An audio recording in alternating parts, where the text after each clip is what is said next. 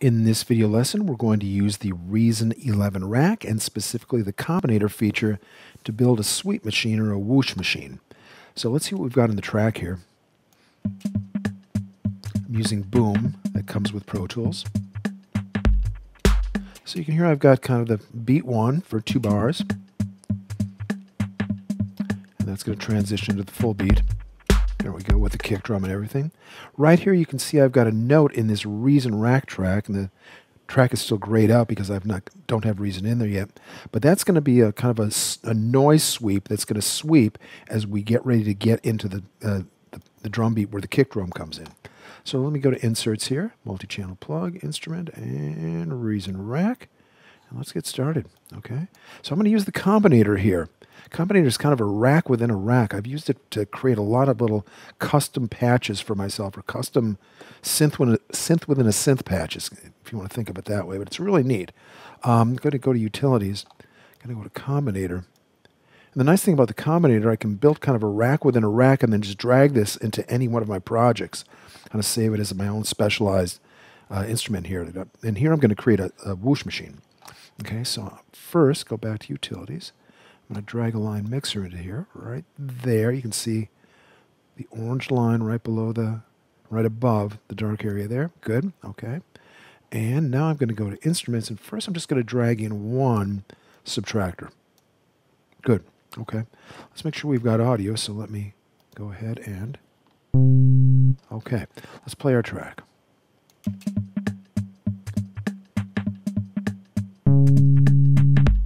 Okay, so we want to do where you heard that note here, right there, we're going to change that to white noise and use the filter to use the filter. We're going to open up the filter as that note plays to kind of create a whooshing or a sweeping effect. Okay, so let's go ahead and I'm going to change the patch to reset device.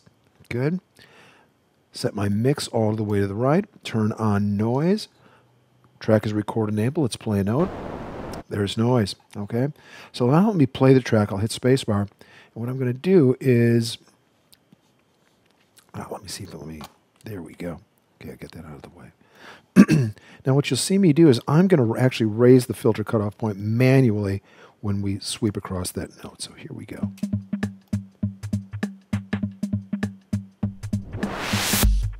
So that's what I want to do. But I want to automate that so I don't have to do it with my filter, with my mouse. Now, there'd be a number of ways I could do that. And we've kind of looked at some of those in the videos that are online in the channel. We can actually assign plugin automation to this specific, specific filter cutoff, and that would be one way to do it. But if we want to have more than one subtractor and have a bunch of sweeps going at the same time, that means we'd have to do it assign this for each one of the subtractors and have to draw the automation for each one. That'd just be a lot of work. What I want to do is I want to use the rotary feature here in the combinator to control the filter cutoff, not only for the filter in this subtractor, but a number of subtractors that I can have in this rack. And that's where I really, really like it. And I can use rotary 2 to control the resonance feature. Okay, so let's go ahead and do that. All right, so right now I'm just going to go ahead and Put my filter all the way to the bottom. I'll leave the resonance there. And I'm going to go here and show programmer. Okay, good. Let's put rotary there and there. Good. All right, so let's, let's look at our devices. We've got the line mixer and subtractor one. And let's just call this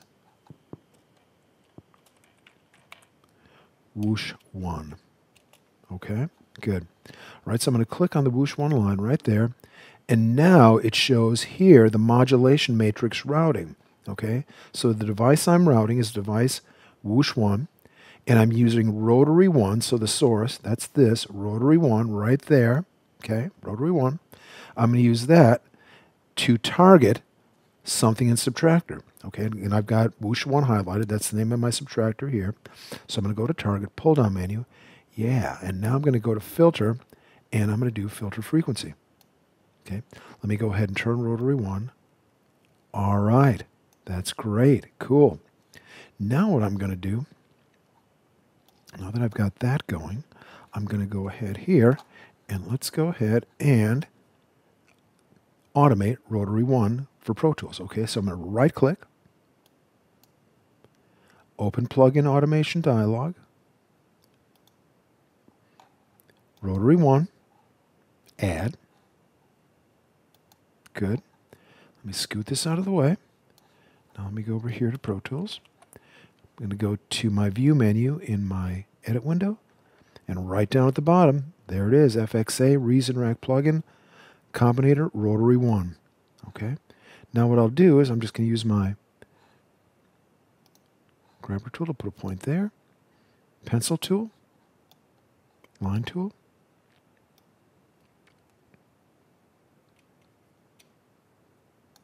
Okay, let's hear what we got.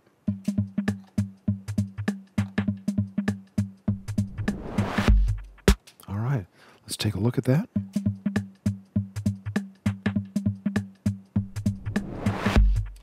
Okay, now from here on, I can shape the sound if I want. Let's say I want it to ring a little bit instead of just cutting off, so I'll just increase my release on my amp envelope.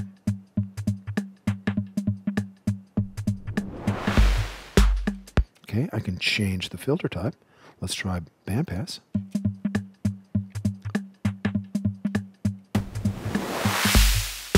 That's nice. Let's try high pass.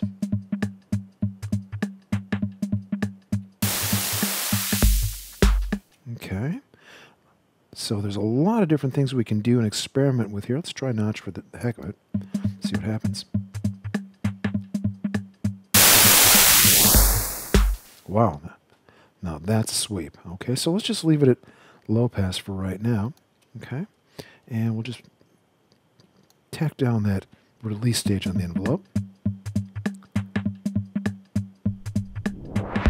A little bit more.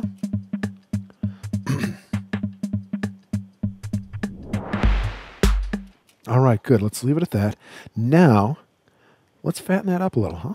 Okay, so I'm just going to click on my subtractor there so you can see now it's got the blue border around it. I'm going to hold down my option key and just kind of like anything on a Mac, you just copy and drag or just click and drag and it'll make a copy of it. All right, so now I've got two, so I don't have to redo everything I did on the first subtractor. I'll just tab to the back, that to there, pan, to right, I'll select whoosh copy. Let me name that, name that whoosh 2.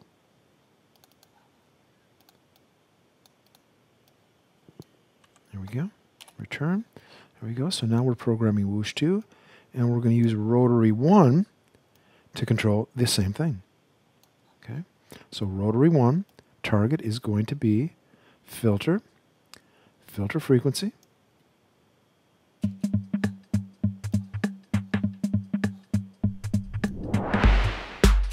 Now let's pan those left and right.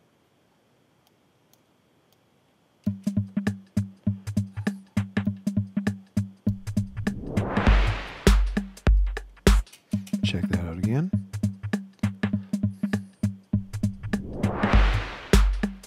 All right, cool. So now that we've got those pan, let's just add a little bit of effects to both those.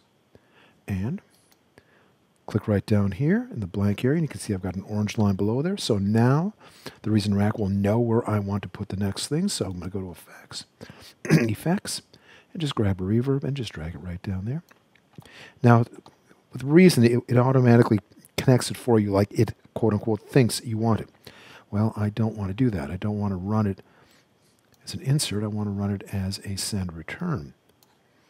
Okay, so I'm going to go reconnect that drag out of my send into the audio input of the reverb, back from the reverb to the return. Let's go ahead and bring up our auxiliary send a little bit there. And here we go.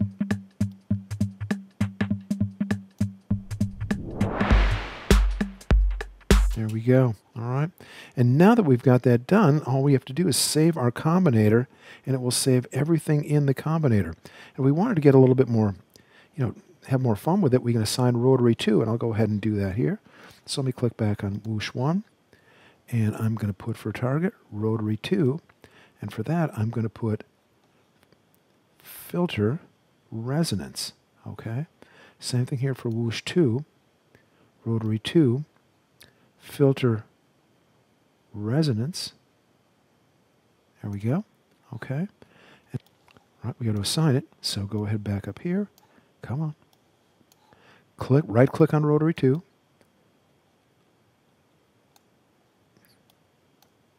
Open plugin automation dialog. Rotary 2 right there. Let's go ahead and add it. Oh, we don't want to add rotary 1. Combinator rotary 2. I guess, I guess it's okay. So let's make sure it's there. There's rotary 2. Good. And now go ahead and let's grab another here. So I'm going to put that. We'll start that up and maybe sweep it down. Let's see how that sounds.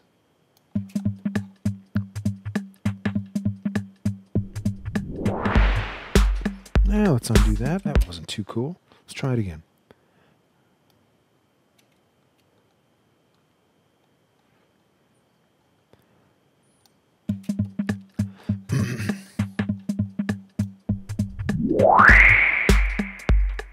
Okay, a little bit too much. Let's go ahead and undo that and just just give it a touch, okay? Right to about there. That's about enough.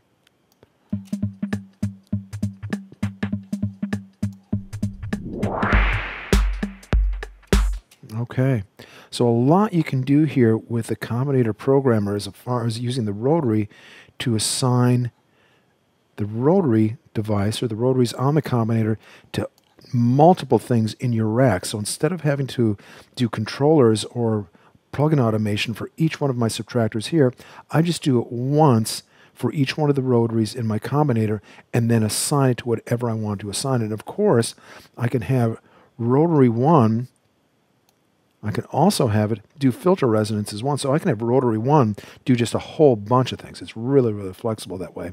But here I wanted rotary 1 or the filter frequency and the filter resonance independent of each other. So anyway, a great way to kind of build a rack within a rack and custom patches for yourselves using you know a number of synthesizers and devices within Reason and then creating your own kind of custom combinator that you can just bring in and out of your songs in different productions and things like that and then modify as you need them. So anyway, uh, give it a try. Hope you enjoy it.